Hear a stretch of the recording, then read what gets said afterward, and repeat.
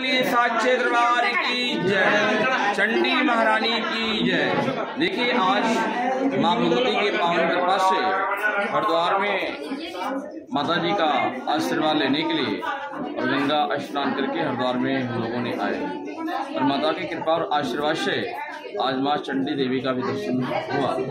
और ये देखिए कितनी बड़ी सौभाग्य की बात है कि लोगों ने पंडित किया और वहाँ के बड़ी बड़ी चुंदरियाँ लोगों ने बाँध रहा है। इतनी चुंदरी बांधा है माँ के दरबार में कि लोगों ने अपनी कामना करके और एक आशीर्वाद का प्रतीक किया।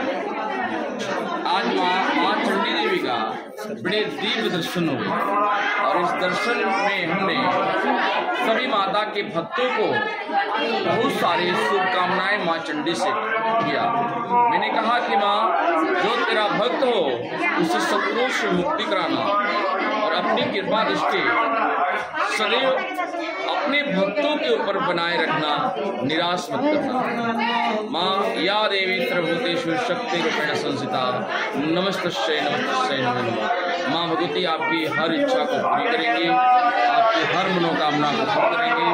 और ये देखिए, माँ चंडी देवी का दरबार, आशीर्वाद जिसके माध्यम से आप लोगों ने चंड